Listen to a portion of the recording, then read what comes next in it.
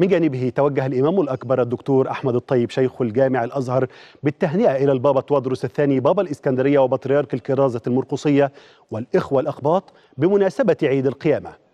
هذا وأكد الأزهر الشريف اعتزازه بعلاقة الأخوة والتلاحم التي تجمع بين المصريين تحت سقف هذا الوطن والتي أصبحت نموذجا عالميا للتعايش والتسامح ومثالا حيا على المواطنة المشتركة التي تساوي بين كل المواطنين وتوحد بينهم.